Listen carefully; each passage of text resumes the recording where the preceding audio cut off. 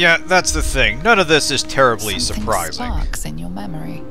Teachings about Selûnite rites of passage, about how they would abandon their children out in the wilds and force them to find their way home. Yeah, it's It an amnesia murder cult. This is part of the never course, back. really.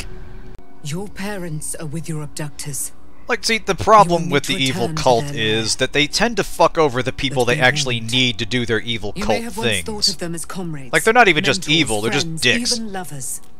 And I was gullible enough to just Yeah, see, it. again, we come back to the very self-destructive nature of an amnesia murder cult. have to save Like, them. if they hadn't pulled this and just part of me recruited people who were knew that. genuinely devoted to the whole do evil, kill Part Faerun thing, denied to me. I feel like their plans would hold together a little longer.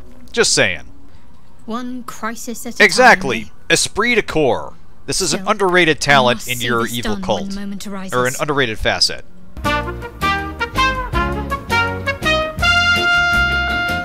I like how she's discussing the mind flayer shit and not the uh Yeah. changed her hair color and fangs entirely. You're the Mother Superior. I'm just gonna say it, I think she looks better with darker hair. no longer my mission. Saving my parents is. this isn't a I phase, I agree. swear.